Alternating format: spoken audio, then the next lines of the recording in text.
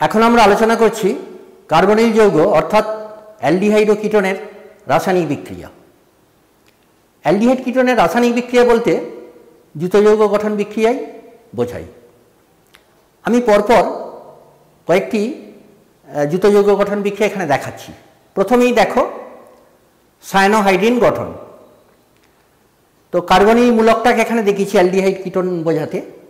তো কার্বনিল মূলকের দুটো ফাঁকা যে যেখানে আছে, ওখানে যদি দুটোই হাইড্রোজেন হয়, তাহলে ফর্মালডিহাইড দুটোর মধ্যে একটা আর গ্রুপ অ্যালকিল গ্রুপ এবং অন্যটা এইচ হয় তাহলে কি এটা? অন্য কোনো অ্যালডিহাইড আর দুটোই আর হলে কি হচ্ছে? কিটন কার্বনিল কার্বনটা তোমরা জানো আগেই যে পজিটিভ চার্জগ্রস্ত আর অক্সিজেনটা নেগেটিভ চার্জগ্রস্ত এটা পোলার মূলক এটা। তো প্রথমেই একে এইচ সিএন দিয়ে ট্রিট করা হলো। করলে কি হবে? এইচ এইচ পার্টটা পজিটিভ পার্ট এবং সাইনাইডের সিটা নেগেটিভ পার্ট তাহলে এই বনটা ব্রেক করে সিএন মাইনাস গিয়ে কার্বনে আর এইচটা গিয়ে অক্সিজেনে লাগল সায়ানোহাইড্রিন গঠন হলো। ওকে এই সায়ানোহাইড্রিন গঠন বিক্রিয়াটা জৈব রসায়নে খুব গুরুত্বপূর্ণ বিক্রিয়া। কারণ এটাকে তুমি যদি আর্দ্র বিশ্লেষণ করো, তাহলে সিএন গ্রুপটা সি ডবল এইচ এ পরিণত হয়। অর্থাৎ আলফা হাইড্রক্সি অ্যাসিড তৈরি করা যায়। ওকে আচ্ছা এখন এই বিক্রিয়াটার অ্যালডিহাইডের ক্ষেত্রে, ফর্মালডিহাইডের ক্ষেত্রে দ্রুত গতিতে হয়। কিন্তু আদার্স অ্যালডিহাইডে বিক্রিয়াটা হয়, ঠিক আছে। কিন্তু কিটনের ক্ষেত্রে পরের মানে যেগুলো হেভি কিটন, সেখানে বিক্রিয়াটা হয় না প্রায়, স্লো হয়ে যায়। তারপরেটা দেখো। এর পরের বিক্রিয়াটা দেখো দিয়ে জল সংযোজন।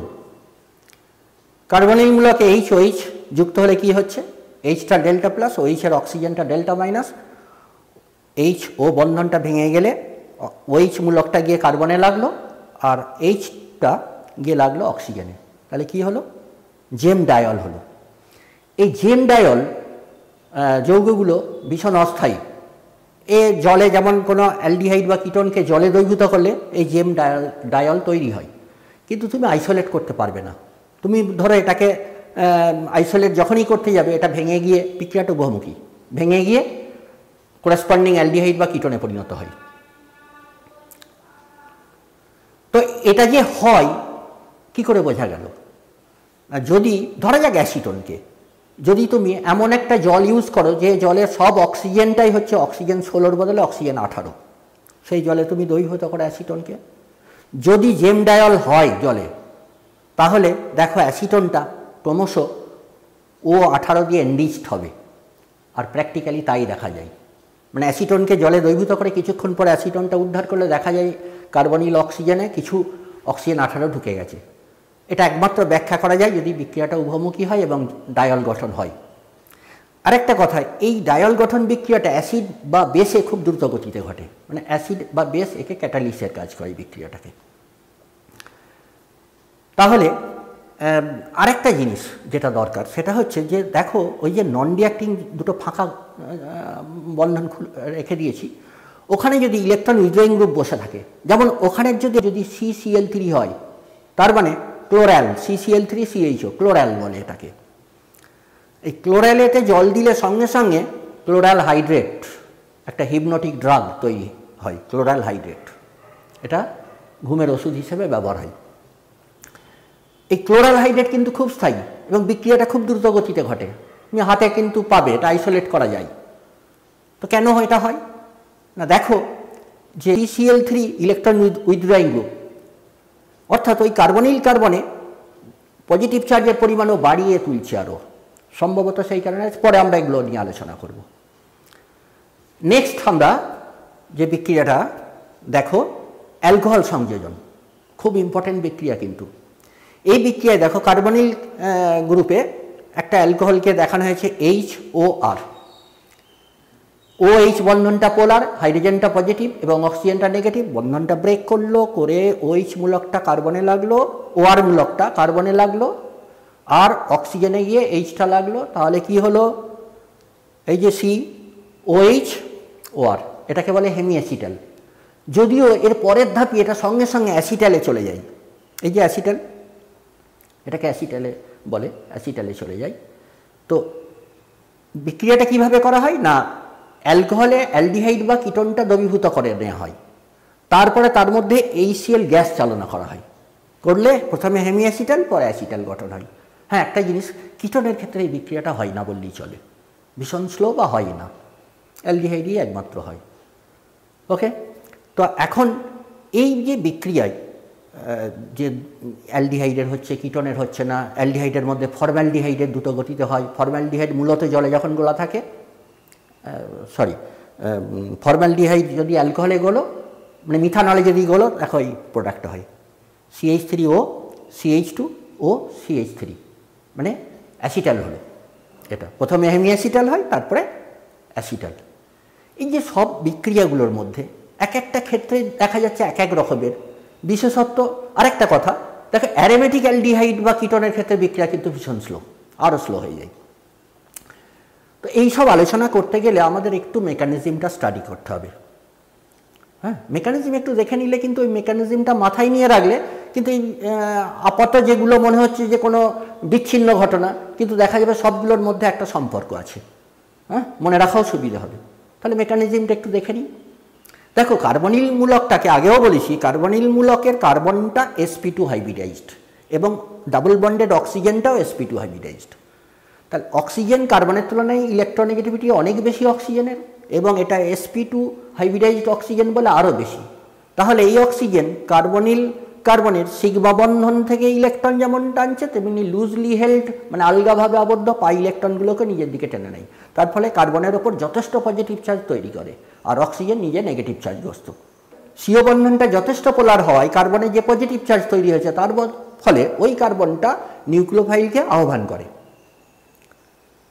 তো এখন আমরা দেখি যে কীভাবে এই অ্যাটাকগুলো হয়। আমরা দুটো ভাবে এই বিষয়টা উপস্থাপন করছি। প্রথমত, যদি স্ট্রং নিউক্লিওফাইল হয়, দেখো, বিক্রিয়াটায় সি ডাবল বন্ড কার্বনটা এসপি টু হাইব্রিডাইজড এবং flat nucleophile NU minus charge আছে লোন পেয়ার ইলেকট্রন আছে। একটা ওপর থেকে অ্যাটাক হতে পারে, তলার দিক থেকেও অ্যাটাক হতে পারে। দুদিক থেকেই ফিফটি ফিফটি চান্স যদি অ্যাটাক হয় যত নিউক্লিওফাইল অ্যাটাক করছে কার্বনিল কার্বনের সঙ্গে, তত অক্সিজেন লুজলি ইলেকট্রনগুলো পাই ইলেকট্রনগুলোকে নিজের দিকে টেনে নিচ্ছে ইলেকট্রোমেরিক এফেক্ট তাহলে কি হচ্ছে? একটা টেট্রাডাল ইন্টারমিডিয়েট অন্তর্বর্তী যৌগ তৈরি হচ্ছে। এই স্টেপটা খুব slow step rate controlling step পরে দেখো যেটা তৈরি হলো অক্সাইড এটা একটা স্ট্রং বেস এর সঙ্গে সঙ্গে কি হবে? না এইচ এনইউ থেকে এইচ ছিনিয়ে নেবে এইচ প্লাস হিসেবে। তাহলে পড়ে রইল এনইউ মাইনাস তার মানে যে নিউক্লিওফাইলটা অ্যাটাক করেছিল, সেটা রিজেনারেট হয়ে গেল। ওকে তাহলে কি পাওয়া গেল তাহলে? আমরা পেলাম পরের ধাপটা, একটা জুতো যৌগ। এটা ভেরি সেকেন্ড স্টেপটা ভেরি ফার্স্ট স্টেপ তাহলে রেড কন্ট্রোলিং স্টেপ হচ্ছে ফার্স্ট স্টেপ অর্থাৎ এসপি টু থেকে এসপি থ্রি হাইব্রিডাইজড কার্বন তৈরি হচ্ছে, অর্থাৎ টেট্রাহেডাল ইন্টারমিডিয়েট আর দুর্বল নিউক্লিওফাইল যেমন জল, অ্যালকোহল, এদের ক্ষেত্রে এইভাবে বিক্রিয়াটা ঘটে না। কারণ তোমরা জানো যে জলে বা অ্যালকোহল অ্যাসিড মাধ্যমে বিক্রিয়া করে। অ্যাসিড মাধ্যমে কি হয়? কার্বনিল কার্বনের অক্সিজেনটা প্রোটোনেটেড হয়ে যায়। তারপরে দেখো, রেজোনেন্সে আমরা দেখতে পাচ্ছি যে এই স্ট্রাকচারটার রিয়াল অণুর মধ্যে একটা কন্ট্রিবিউশন থাকছে। তার ফলে কার্বনিল কার্বনটা যে পরিমাণ পজিটিভ চার্জগ্রস্ত ছিল, এখন প্রোটোনেটেড কার্বনিল কার্বনটা আরও বেশি পজিটিভ চার্জগ্রস্ত যার ফলে দুর্বল নিউক্লিওফাইলকে এ আকর্ষণ করে। এখন এই প্রোটোনেটেড যে কার্বনিল যৌগ, তাতে এইচ এনইউ দুর্বল নিউক্লিওফাইল, কীভাবে অ্যাটাক করছে দেখো। এনইউ এর লোন পেয়ার দিয়ে কার্বনে অ্যাটাক করল, এই যে। যত নিউক্লিওফাইলের সঙ্গে কার্বনিল কার্বনের বন্ধন হচ্ছে, তত সিও, ডাবল বন্ডের পাই ইলেকট্রনগুলো শিফট করছে অক্সিজেনের দিকে।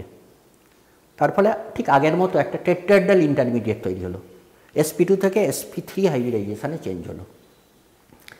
তারপরেই দেখো, এই নিউক্লিওফাইলের একদিকে বন্ড হয়েছে কার্বনের সঙ্গে, আর অন্যদিকে যে এইচটা লেগে আছে নিউক্লিওফাইলটা পজিটিভ চার্জগ্রস্ত হয়ে উঠেছে, সঙ্গে সঙ্গে এ মাইনাস যেটা ছিল আগের সেটাও ওই প্রোটনটাকে স্ন্যাচ করে নিয়ে এইচে হয়ে গেল। দেওয়ার পর যৌগ গঠন হলো। সেকেন্ড স্টেপটা ভেরি ফার্স্ট স্টেপ প্রথমটা রেড কন্ট্রোলিং স্টেপ ঠিক আছে?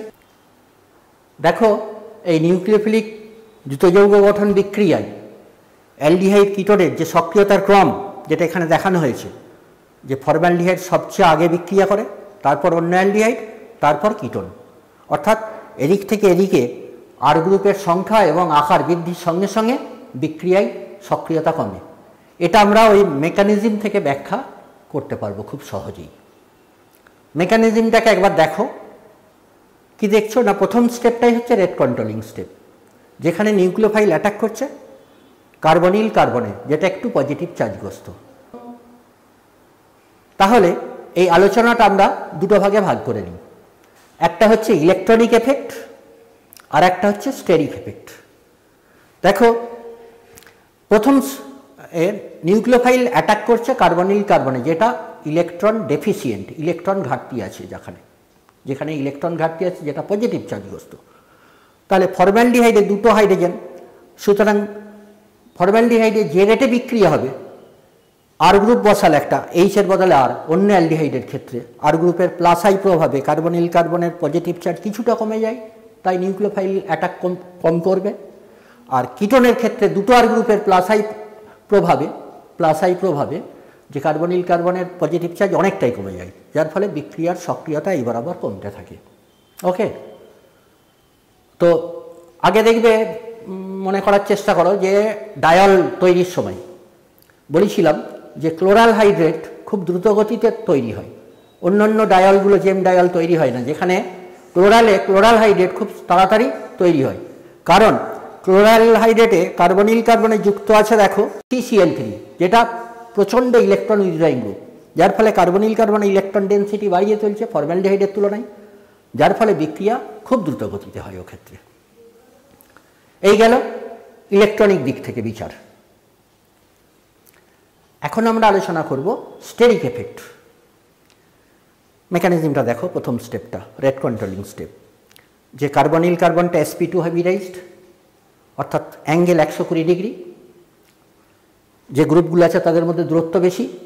যখনই নিউক্লিওফাইল অ্যাটাক করল, সঙ্গে সঙ্গে SP three hybridized tetrahedral intermediate যার অ্যাঙ্গেল একশো ন ডিগ্রি, অর্থাৎ এখানটা ক্রাউডেড হলো।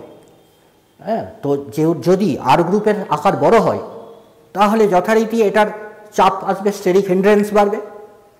আর স্টেরিক হেন্ড্রেন্স বাড়া মানেই বিক্রিয়া স্লো হয়ে যাবে। তাহলে ফর্মালডিহাইডে স্টেরিক হেন্ড্রেন্স নেই। অন্য অ্যালডিহাইডে আর গ্রুপ একটা বেড়েছে স্টেরিক হেন্ড্রেন্স আসছে। কিটনের ক্ষেত্রে স্টেরিক হেন্ড্রেন্স খুব বেশি, তাই বিক্রিয়ার সক্রিয়তা ক্রমে এইভাবে। আর সিম্পল কিটনে যা স্টেরিক হেন্ড্রেন্স ব্রাঞ্চ কিটনের স্টেরিক হেন্ড্রেন্স আরও বেশি, তাই বিক্রিয়া আরও স্লো হয়ে যাচ্ছে।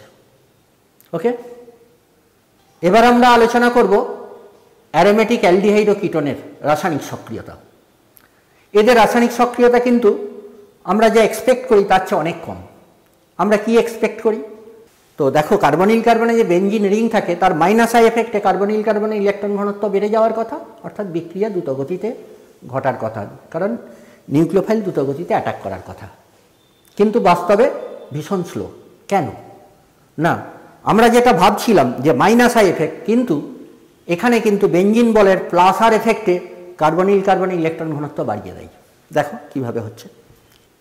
এখানে দেখো বেঞ্জেলডিহাইডের রেজনেন্স স্ট্রাকচার দেখানো হয়েছে। এই রেজনেন্স স্ট্রাকচারগুলোর জন্যে, অর্থাৎ বেঞ্জিন বলের প্লাস আর এফেক্টে কার্বনিল কার্বনে ইলেকট্রন যে পরিমাণ ঘাটতি হওয়ার কথা ছিল, তার চেয়ে অনেক কমে যায় ঘাটতি। যার ফলে নিউক্লিওফিলিক অ্যাটাকও কমে যায়। তো সেই কারণে যদি কার্বনিল কার্বনে আরও আর গ্রুপ বসানো বসাও, তাহলে আরও কমে যাবে সক্রিয়তা। সেই কারণে দেখো এই ক্রমটা। রাইট দেখতে পাচ্ছ? বেঞ্জেলডেহাইডের চেয়ে আরও স্লো হয়ে গেছে অ্যাসিটোফেনন অ্যাসিটোফেননের চেয়ে আরও স্লো বেঞ্জোফেনন যেখানে দুটো ফিনাইল রিং আছে। দুটো রিংয়ের প্লাস আর এফেক্টে কার্বনিল কার্বনের ইলেকট্রন ঘনত্ব বেড়ে গেছে, যার ফলে ইলেকট্রন ঘাটতি কমে গেছে, তাই নিউক্লিওফিলিক অ্যাটাক কমে যায়। ওকে